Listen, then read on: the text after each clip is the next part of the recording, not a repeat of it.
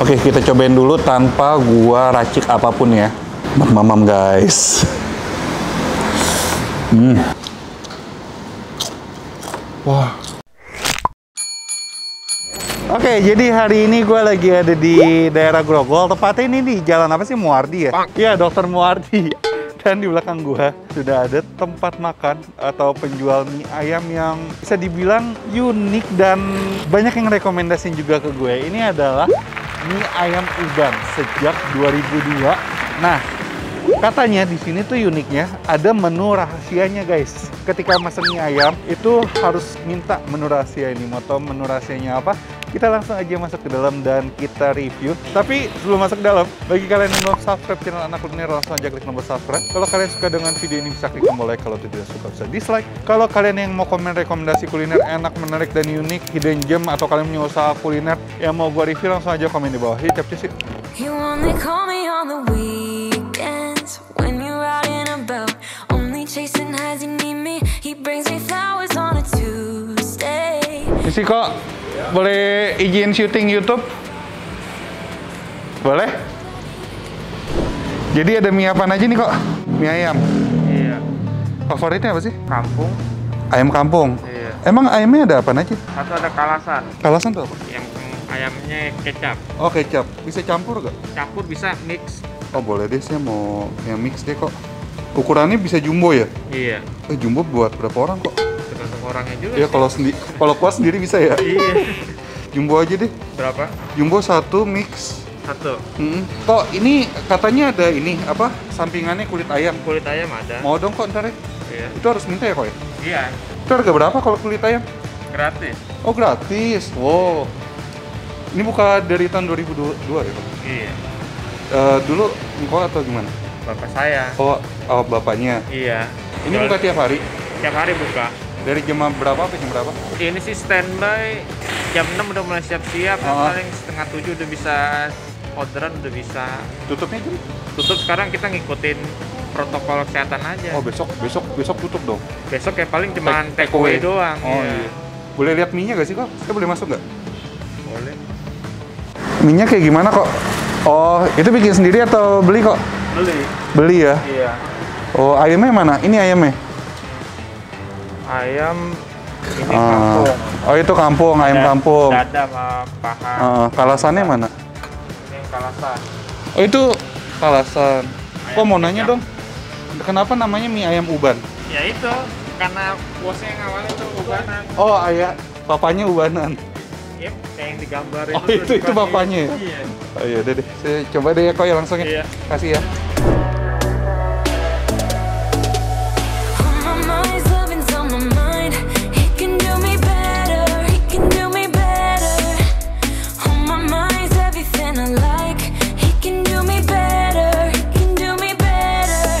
Oke, jadi ini mie ayamnya udah jadi. Ini gue pesen yang jumbo dan untuk ayamnya gue pilih yang mix juga. Jadi di sini ada dua pilihan. Ada yang ayam kampung. Kalau ayam kampung ini tuh yang putih-putih gini ya guys, tuh. Dan ada yang kalasan. Kalau yang kalasan yang coklat-coklat gini tuh, kayak kecap, ayam kecap atau gimana gue nggak tahu. Ntar kita cobain. Dan ini gue pakai sweet kiao juga.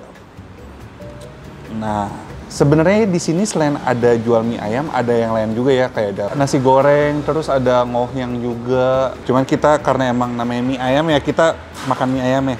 Nah, di sini yang uniknya ini, ini dia. Ini adalah kulit ayam goreng. Jadi ini kayak side dishnya dia. Kalian harus minta. Dan ini gue udah pesen satu mangkok dikasih. Oke lah, kita cobain. Langsung aja.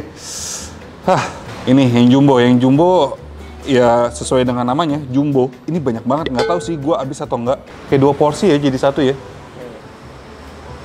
Wah aromanya wangi banget. Wangi minyak wijen juga. Terus aroma kaldunya juga wangi. Oke kita cobain dulu tanpa gua racik apa pun ya. Mamam guys. Hmm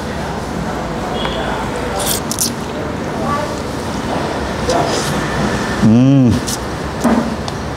Wow. Dia tipe-tipe mie-nya itu kelihatannya rada keriting-keriting gitu. Dan teksturnya itu kenyal banget di mulut. Dimasaknya juga dengan sempurna, nggak yang kelembekan dan nggak yang kurang matang. Ini perfect sih. Teksturnya enak banget di mulut, sekenyal itu. Dan berasa tekstur keritingnya juga. Hmm.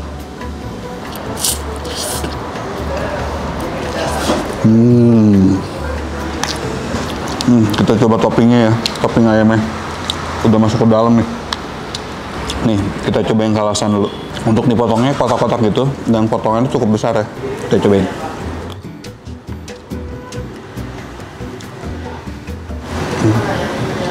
Gue pikir bakal manis, ternyata eh, cita rasanya lebih ke gurih. Sekarang gue pengen cari yang ayam kampung ya. Tuh, cobain yang kampungnya.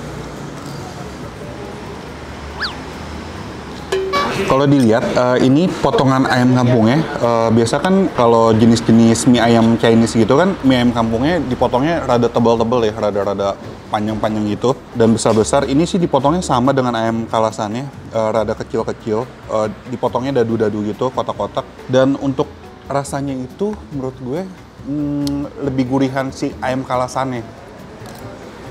Hmm.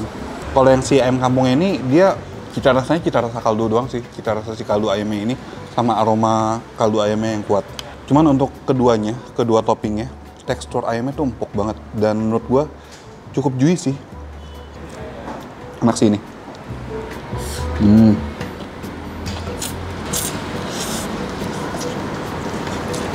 Hmm. Kita racik ya.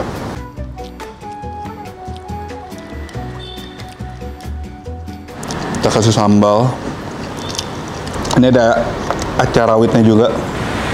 Ini apa ya? Tongcai ya? Ini tongcai. Ntar dia ada tekstur garing-garing yang asin-asin gitu. Tuh tongcai. Kita pakai tongcai guys. Nah kita kasih kuah. Lalu kita aduk. Wow.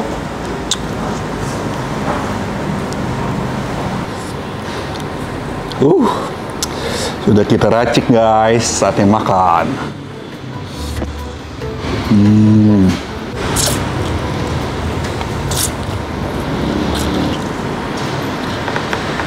Hmm. Oh. Makin tasty gila. Pedasnya pas dapet karena gua ngasih sambalnya juga pas banget. Terus tongcainya ini memberikan kegurihan yang luar biasa. Jadi dia, dia menambahkan tingkat kegurihan lagi, jadi makin gurih dan ada tekstur-tekstur garing-garing gitu di mulut. Nah, ini si suikeonya belum gue coba ya. Selain suikeo ada bakso juga, ada si pangsit goreng juga. Tapi ini gue lebih milih suikeo karena kayaknya kita belum pernah review mie pakai suikeo ya. Hmm, enak. Udangnya berasa banget. Jadi dia dalamnya itu kayak ada olahan udang gitu. Mungkin pakai ayam juga. Cuman yang gue rasakan, ini udangnya kuat sih. Tekstur udangnya berasa banget sama rasa udangnya. Ini belum kita coba ya. Dari tadi kulit ayamnya. Tuh, kita makannya pakai mie. Jadi biar ada tekstur garing-garingnya. Hmm.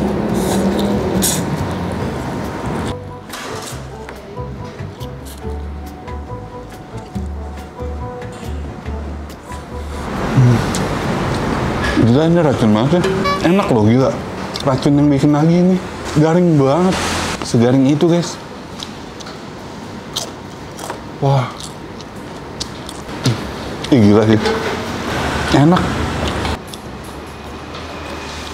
Kulitnya garing. Di mulut tuh ketika digigit langsung meleleh gitu deh. Wah, sempurna banget sih. Kita akuin aja ya. Ini mantra guys. Mantap rasa.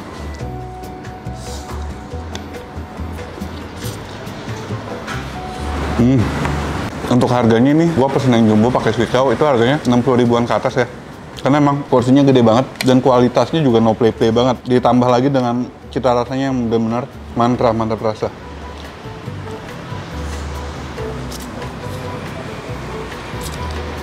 Hmm. Kalau porsi normalnya itu kayaknya start from 20 ribuan. Karena emang dia memakai ayam kampung, jadi ya emang menurut gua harganya wajar-wajar aja segini. Porsinya juga banyak coy. Dan kalau kalian yang mau ke sini langsung aja ke sini. Ntar alamat lebih lengkap ada di kolom description. Ini gua udah akuin ini mantra dan no play play. Nggak main-main mie ayam uban ini dari 2002 ya. Enak. Ntar info dan alamat titik Google Map ada di kolom. description. Ini sambil gua habisin toppingnya tuh. Ini toppingnya guys, banyak banget. Hmm. Hmm.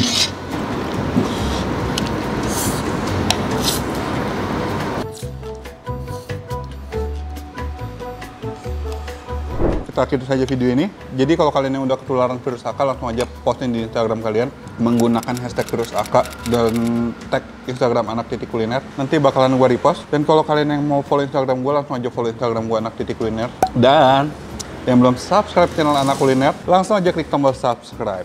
Akhir kata, jangan lupa makan. Bye-bye.